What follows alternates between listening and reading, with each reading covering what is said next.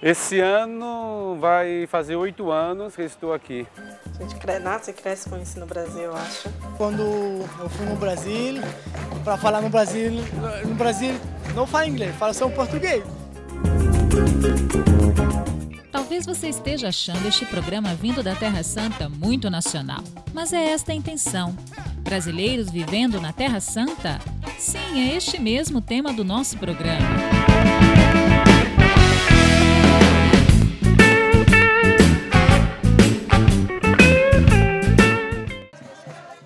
De acordo com Itamaraty, há aproximadamente 15 mil brasileiros vivendo aqui. Todos tiveram que abrir mão de seu cotidiano e costumes para se adaptarem à realidade de viver em um país em que tudo é diferente do Brasil. Encontrar brasileiros aqui em Israel é muito mais fácil do que você imagina. A gente estava aqui gravando no centro da cidade, numa cidade movimentada, encontramos a Raya, uma jovem de 20 anos que está morando em Israel. Por que, que você veio morar aqui, Raya? Primeiramente porque eu sou judia, então eu achei que para uma menina judia de 20 anos não tem muita coisa para fazer no Brasil. E eu gosto de estar com meu povo, minha família, metade está aqui. E aqui tem muitas facilidades para estudar e para uma menina da minha idade é muito recomendável morar aqui em Israel, é seguro. E eu me sinto em casa, muito você, em casa. Você é de que parte do Brasil? São Paulo. São Paulo. E como que você percebe a expansão dos brasileiros aqui em Israel? Porque onde a gente vai, a gente escuta um pouco da língua portuguesa. Sim, eu conheço muita gente que mora aqui, muitas amigas da minha idade. Também, sempre que eu estou passeando, aqui em Jerusalém principalmente, eu ouço português, gente falando e os israelenses também adoram os brasileiros, ouvem que a gente é brasileiro, gostam.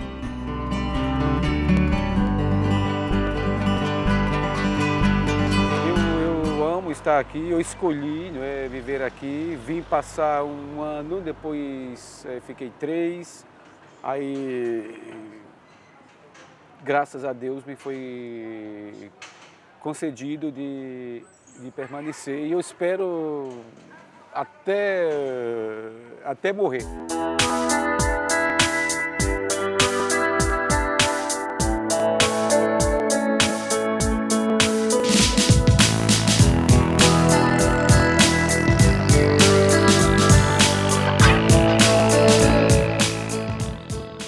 Sexta-feira em Jerusalém. Famílias judias se reúnem para viverem o Shabat.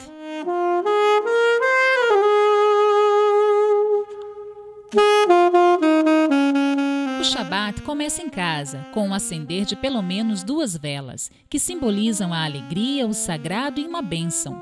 Algumas famílias adicionam uma outra vela para cada criança. Quem acende as velas em geral são as mulheres. Elas dão as boas-vindas ao Shabat com gestos sobre as velas. Depois cobrem os olhos.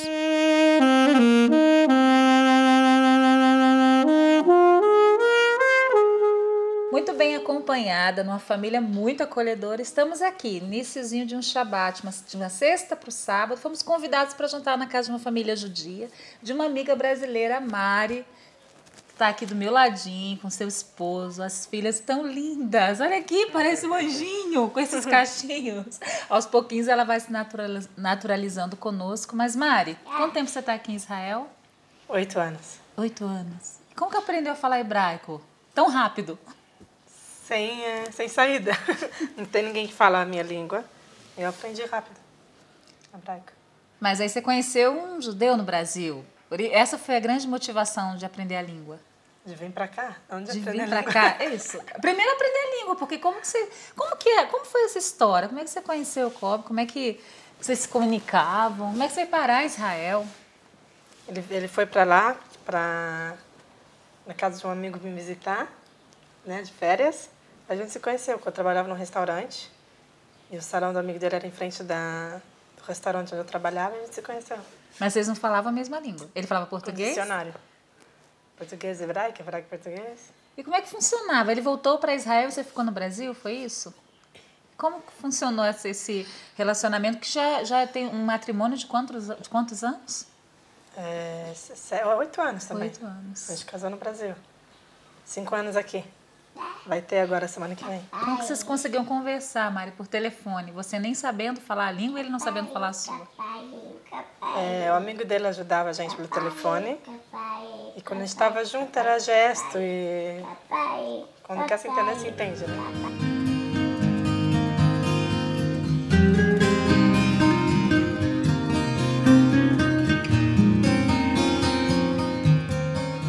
Como fruto deste amor, nasceram estas duas belas meninas, Liane, que quer dizer Deus me deu, e Shaked, que significa amêndoa.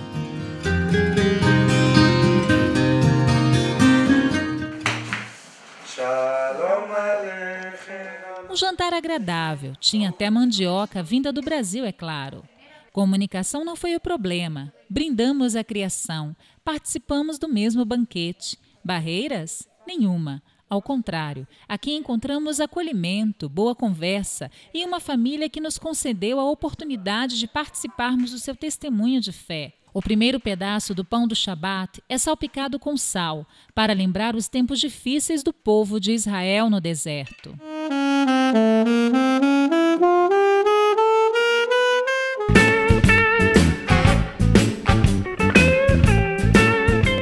Jerusalém, na Cidade Nova, muita vida, cor, correria e, em meio a tudo isso, os frutos da terra expostos de maneira agradável aos olhos. As cores dão vida à cidade conhecida pelas suas ruas de ouro.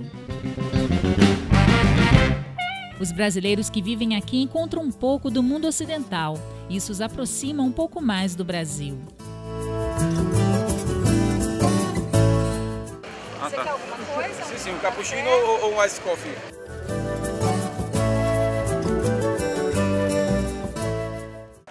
Aqui a gente está em algo muito típico da cidade nova de Jerusalém, são os uhum. cafés, né? Uhum. É uma cultura europeia, americana, uma, um misto. E é esse coração jovem de Jerusalém e moderno de Jerusalém, né? Padre, agora o senhor já fala hebraico, né? Mas Olha, como é a questão da língua? Sim, é, na verdade você encontra aqui em, em, em Israel, é, em Jerusalém especialmente, todas as línguas possíveis imagináveis. É engraçado, porque essa é uma questão interessante aqui na Terra Santa. Você senta na mesa, você fala um pouco de espanhol, um pouco de italiano, um pouco de inglês, o hebraico, o árabe. É impressionante a comunicação como ela acontece aqui em diversas línguas em um momento que você está à mesa, né? Para mim foi um desafio no início, especialmente a questão da língua, porque não sabendo bem nem o inglês, né, nem a língua local, o hebraico ou o árabe, eu, meu trabalho especialmente era feito na língua italiana. E eu, por exemplo, procurei estudar, né? fiz curso. Hoje eu consigo é, me comunicar em hebraico, é, me consigo também me comunicar em inglês, mas foi um desafio. Né? Apesar que para o meu trabalho não era necessário a língua local, mas eu eu para mim o hebraico eu sabe tem, tem, tem um charme, um charme religioso, porque obviamente o, Antigo Testamento está escrito em hebraico, então você ter um conhecimento ao menos básico dessa língua né, é, é, tudo de bom. E ainda hoje estou estudando ainda, procuro sempre que posso colocar em prática o que estudei e graças a Deus é, consigo bem.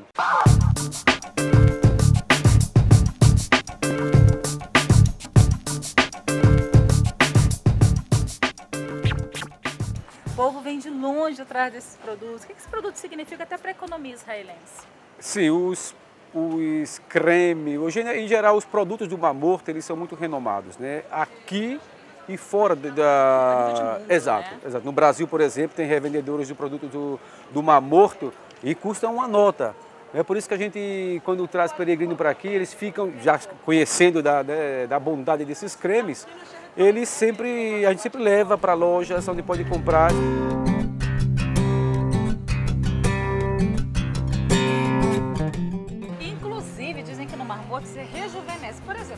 Tem 80 aí? 86. De tantos anos cremes do Marmota, aí parece um menino de 20 anos. É, uma, o Marmota...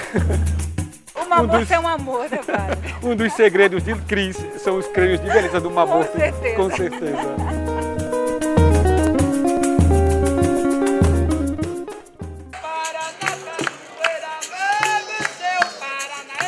arte, a música, a cultura brasileira é muito apreciada por aqui. Berimbau, português sendo falado no coração da cidade nova de Jerusalém, O que será que está acontecendo por lá?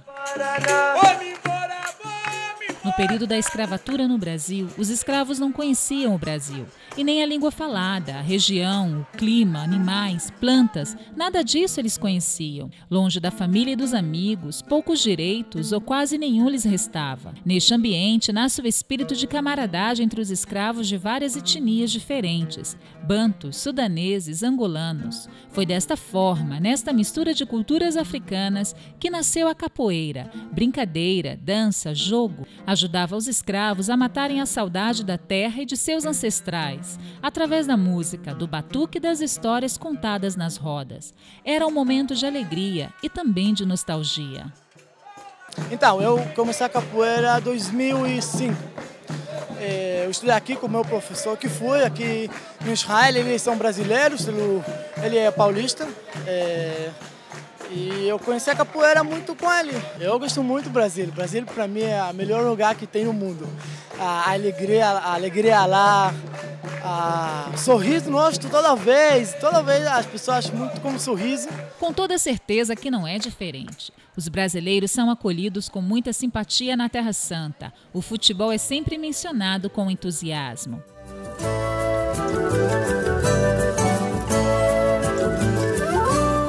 Olhem o que o padre Carlos encontrou: uma quipá com o escudo do Flamengo. Alegria para este torcedor apaixonado. Então, entramos nesse negócio, nessa loja de, de quipá, né? A quipá, não sei se em português é feminino ou masculino. É feminino. É feminino, a quipá, né? Quipá em, no judaísmo está a significar uma redução do chapéu, né? Que nos séculos, começou também a fazer parte do, do hábito, do, do vestiário dos do, do judeus. Obviamente, não é do tempo de Jesus. Então, a kippah passou a ser um, um símbolo religioso aqui é, no Israel moderno.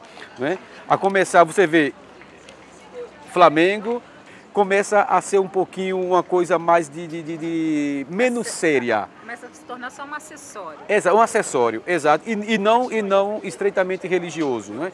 Agora, a kippah, quando ela é toda preta, né, está a indicar que a pessoa já pratica uma, em um certo grau o judaísmo.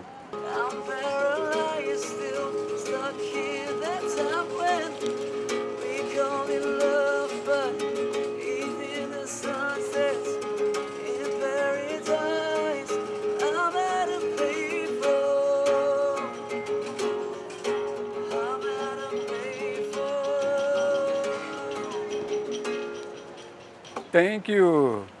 De repente, vemos uma bandeira pendurada numa loja de bolsas e um seja bem-vindo em alto e bom tom. Faz 48 anos que está sim. aqui, nossa, uma vida, veio bem jovenzinha para aqui, não é? Sim, eu ainda sou jovenzinha. Claro, e bonita. Eu mais jovenzinha, sim. Eu estou 48 anos aqui, sim. Casou aqui Mas, ou não no Brasil? Casei aqui. Foi uhum. uma das, eh, das razões que depois eu fiquei. Que ah, eu fiz tá. aliar Voltei para o Brasil, mas depois ele me puxou de volta para cá.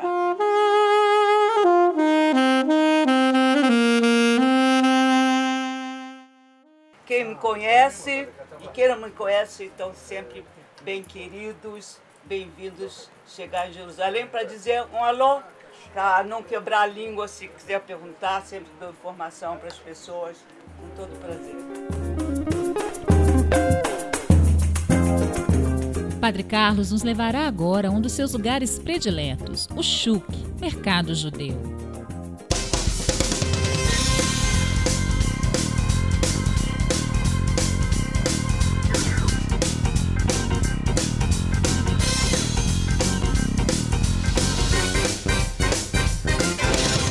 Então nós estamos aqui naquele que é o maior mercado público de Jerusalém, chamado em hebraico Estamos no Shuk, em árabe no Suk, estamos no Shuk de Jerusalém. Aqui tem de tudo.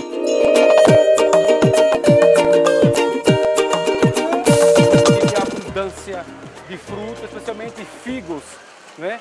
fruta típica dessa, dessa, dessa estação e aqui dessa região. Né? Figos, frutas secas, tâmaras, e muitas outras frutas, damascos e frutas secas de, todo, de todos os tipos se encontram aqui nessa ala, nessa asa aqui do Shuk, do mercado de Jerusalém. Os árabes e os israelenses, os hebreus em geral, comem muito semente, semente de girimum, semente de girassol, nozes, não é? amendoim. Então aqui se encontra absolutamente de tudo aqui no mercado.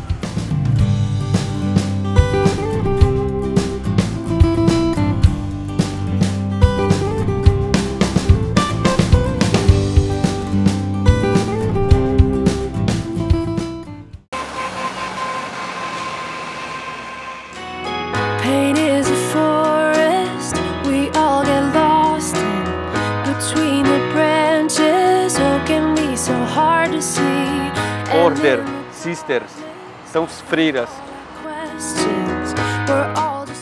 Padre, estudar hebraico te fez conhecer lugares muito, muito interessantes como aqui, Talita Kumi, uhum. não é Kum? Exato, é, Talita Kumi, Talita é uma palavra hebraica, aliás, aramaica, que depois o hebraico também é, passa para o hebraico, quer dizer menina, né? ou jovem, mas no senso de é para feminina. Então, até mesmo no hebraico moderno, porque o, o Ben Yehuda, quando elaborou as primeiras noções para o hebraico moderno, ele se refez muito aquilo que era o hebraico bíblico.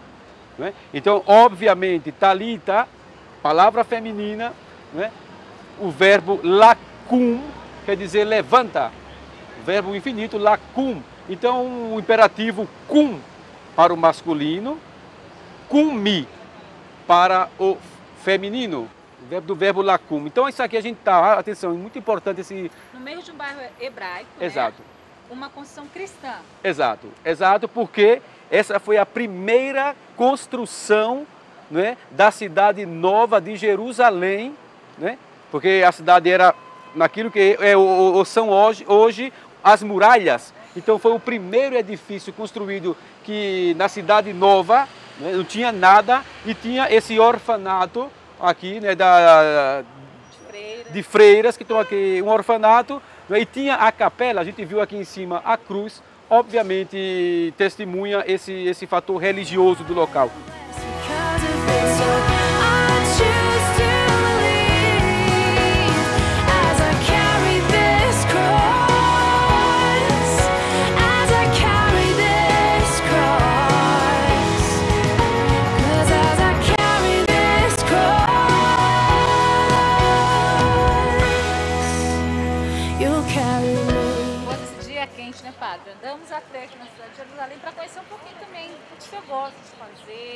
Comer um pouquinho, que é bem pouquinho da sua vida, porque até além de da comunidade de Obras de Maria, guia grupos, é um grande evangelizador junto aos brasileiros que aqui vem.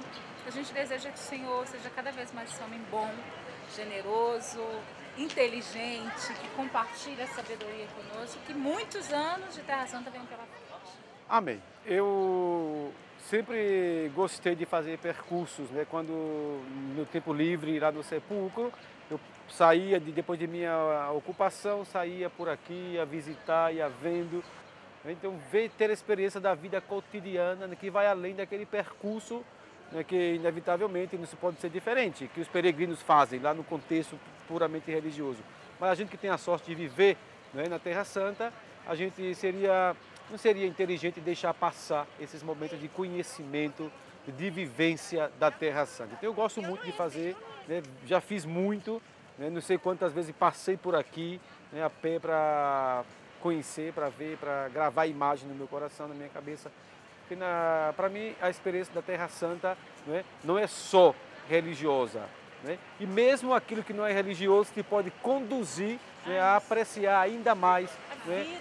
Né? Exato. O ser humano é criatura de Deus, então tudo aquilo que envolve uma cultura, um povo, nos interessa, interessa muito, né? Exato, exato. Então, então Jerusalém é isso aqui também. Com, obviamente com o convite para todos aqueles que, que, que estão nos assistindo de é, visitar a Terra Santa. Para, né? Ninguém pode amar aquilo que não conhece. Né? Quanto mais se conhece, uma realidade mais a se aprecia, a se ama. Então, convite para que também nossos amigos do Brasil possam é, conhecer para amar né? e, quem sabe, viver a Terra Santa, a terra tão importante, tão preciosa para nós cristãos.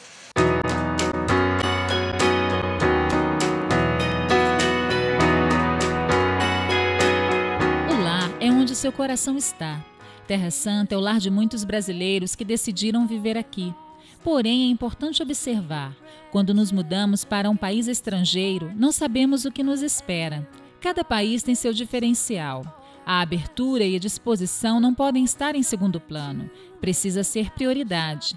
Desta forma, o processo de enculturação certamente acontecerá. Bem, eu gosto muito de viver aqui. E aos poucos, o que era desafio vai se tornando ponte para que a comunicação aconteça. Até o próximo programa. Shalom. Shalom. E que acha em todo mundo shalom. Amém. Sim. Do Brasil, você não sente saudade de nada? Ah, sinto. Minha família tá lá, com certeza. Da comida, da praia, da... É, abraço pro povo brasileiro. é, Eu gosto muito do Brasil. Toda vez que eu vi uma pessoa brasileira, eu começo a falar com, com ele como meu amigo. Para mim é bom. é, Abraço para todos os brasileiros. é, Vem para cá, para Israel, é lugar muito bom para turista. I am blessed because